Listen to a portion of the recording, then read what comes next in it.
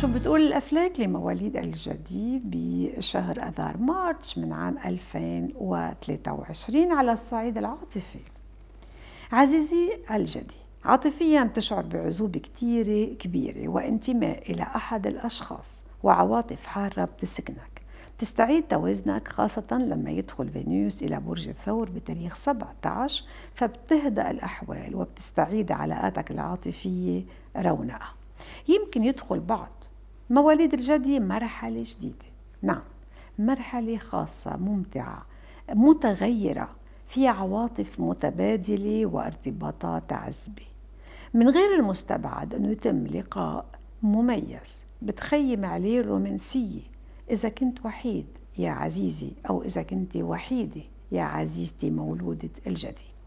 بتتلقوا عرض مناسب جدا بهالوقت. أو بيقوم الجدي برحلة رومانسية مميزة بتسعد قلبه.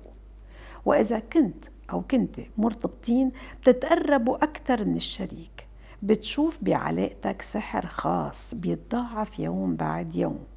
يمكن تتلقي يا عزيزتي هدية أو يقدم لك الشريك عرض أنت مش قادرة ترفضيه أو أنت مش قادر ترفضه.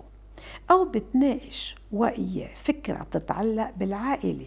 أو بقرار لازم إنه يتخذ على هالصعيد. بس لازم تتأنوا شوي ابتداء من تاريخ 22 حتى ما يصير في أخطاء ترتكبوها وتؤدي إلى خلافات. شمس وميركور وجوبيتر سوا ببرج الحمل يمكن يكونوا معاكسين بطريقة بيضيقوا عليكم الأنفاس. بعض الاحتكاكات على الصعيد الشخصي يمكن تأثر سلبا على الصعيد المهني. انتبهوا.